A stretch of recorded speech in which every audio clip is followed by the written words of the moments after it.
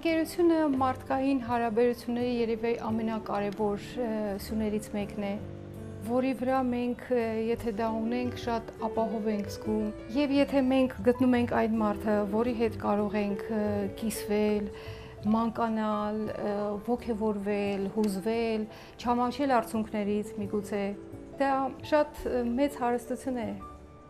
նաև պատասխանատվություն է այն մարդու նկատմամբ, որին ընտելացնում ես քեզ։ Եվ դա իմ խոսքերը չէ, դա Էքզուպերի խոսքերն է, որ պետք է Այսինքն մենք պատասխանատու ենք նաև մեր ընկերների նկատմամբ։ Ես ինձ համար եմ այդ բանը որոշել, թե ինչ է երկար մտածելուց հետո ինչ է ընկերությունը։ Ի վերջո նա Ուրեմն քո մեջ պահված երեխան է փոքրիկ, ազատությունը։ Այդտեղ է ընկերությունն ու սերը։ Մեր մարդկության ամենագեղեցիկ ստեղծագործությունն է։ Ես ընկերությունը ավելի վեհ եմ գնահատում ինչպես իմ արվեստը, որովհետև արվեստն էլ չունի այդ շուկայական ինչ որ շահախնդրական, ինչ որ չգիտեմ, դա արարում է ընկերությունը ինչպես ասել է քոչարը դա մեծ արվեստ է եւ պետք է կարողանալ կարողանալ լինել ընկեր։ Այս փոքրը թե Հասմիկը քրոջս ընկերուհիներ, նրանք միասին էին սովորում նույն դասարանում մանկական անկեղծ մաքուր ընկերություններ մեր մեջ։ Որոշ ժամանակ ես տեղեկություն չունեի Հասմիկի մասին։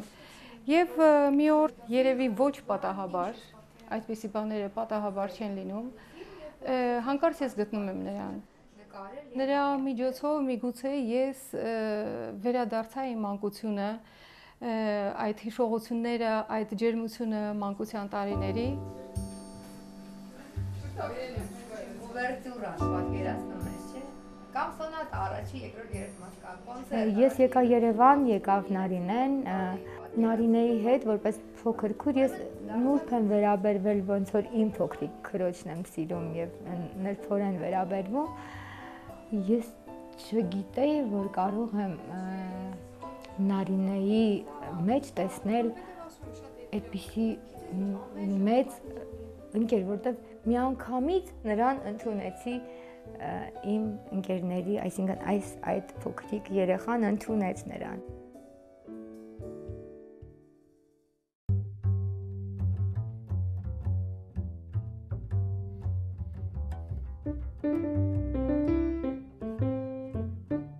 բացահայտում եմ մի մարդու արդեն կայացած երաժիշտ եւ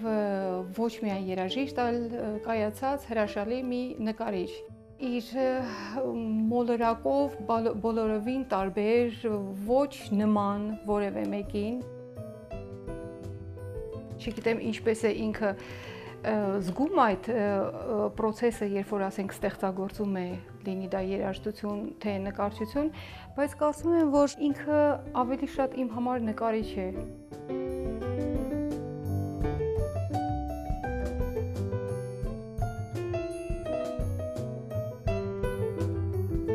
Երաժշտությունը միշտ կա իմ նկարներում։ Կա արդյոք իմ նվագում նկար որովհետև այդ ժամանակ ես այդ նկարը չեմ պատկերացնում։ Մի այլ հոգեվիճակ կա, երբ ես նվագում եմ, որովհետև ես սկսել եմ նվագել շատ վաղ եւ դեռ չգիտեի, որ նկարիչ է, գեղանկարիչ պիտի լինեմ։ Գուցե գիտեի, բայց դա չէի պատկերացնում եւ երևի դե դաշնակահար նկարիչ, գեղանկարիչ, հիմա արդեն գեղանկարիչ եւ դաշնակահար մեկը մյուսին շատ օգնում է օգնում են իհարկե երաժիշտները ընդհանրապես բավականին հարմոնիկ են տեսնում գույները եւ այդ հարմոնիան օգնում է ինձ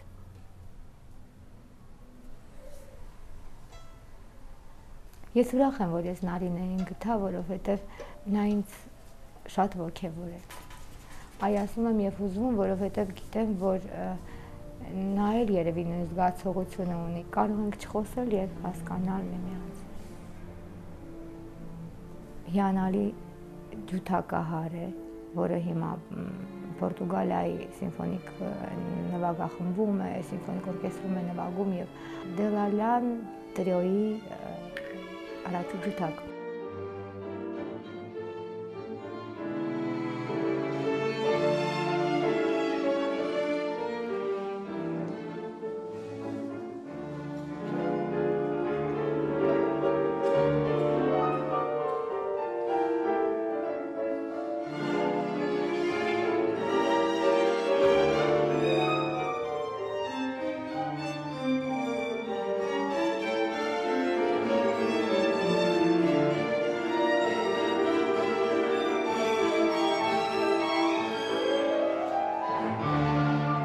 Նարինեն այն տեսակն է, որոնց ես շատ սիրում եւ գնահատում եմ եւ կարող եմ ասել, որ ամենակարևորագույն բանը նա է, որ խրախուսանքի կարիք չի զգում, նա անցնում է այն ճանապարհով, ինչով որ անցնում է արվեստի ամենա մեծ երախտավորը դժվար բարդ ճանապարհով, որը որ հետո տալիս է իր հաճույքն ու երկունքը, որը որ ես արդեն զգում եմ, որ մենք ապրում ենք եւ դեռ դեռ պետք է ապրենք, դեռ երևի չգիտեմ հետո ինչ կլինի, կապրենք, կտեսնենք դա թե չէ, բայց դեռ այդ ճանապարհով մենք անցնում ենք եւ ես արվեստի միայն այդ ներկայացուցիչ, այդ երախտավոր ընկերոջն եմ ընդունում, եթե նա արվեստից է։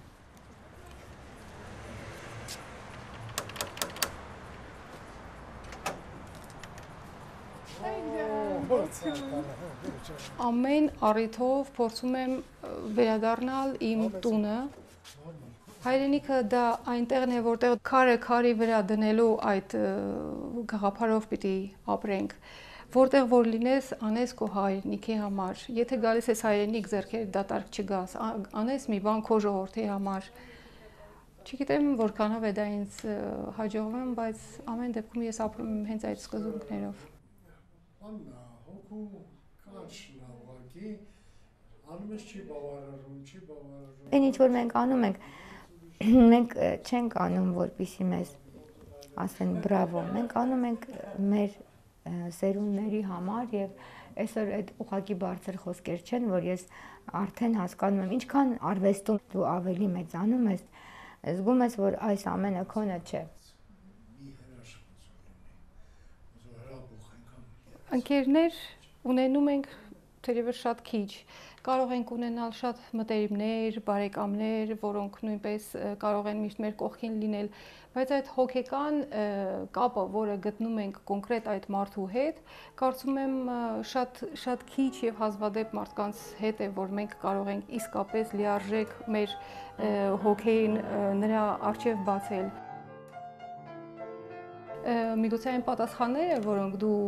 փնտրում էիր եւ ահա նա ով կարող է քեզ օգնել գտնել այդ պատասխանները։ Որովհետեւ ես կարծում եմ, որ ընկերությունը դա նաեւ ընկերը այն մարդն է, որը առանց քեզ ասելու, առանց խոսքերի կարողանում է նաև քեզ այնքան սնել, որ դու ինքդ քեզանից ավելին ես անում, ինքդ քեզանից մեծանում ես, գնում ես այն ճանապարհով, որը տանում է դեպի կատարելություն։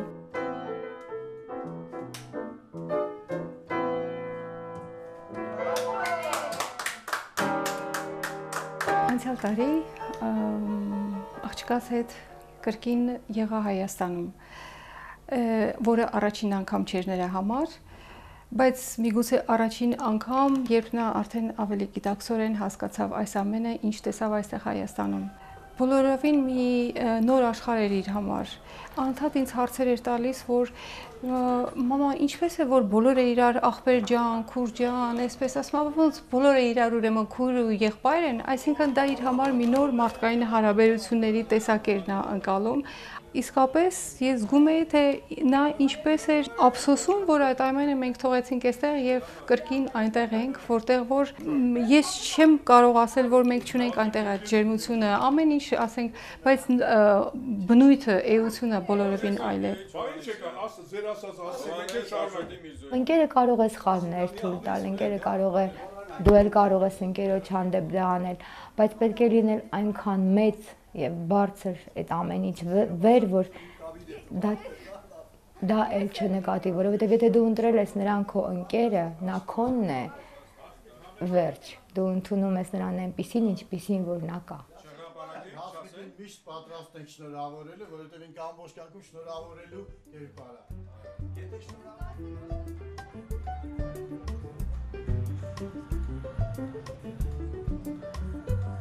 Համախմբում է մարդկանց, միասին, միացնում իրար եւ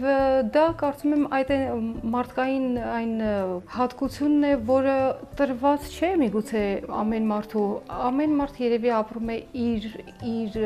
աշխարհը փնտրելով, բայց նաեւ կան մարդիկ, որոնք առաջին այդ խնդիրը, որ իրենք դնում են իրենց առաջ, տալն է։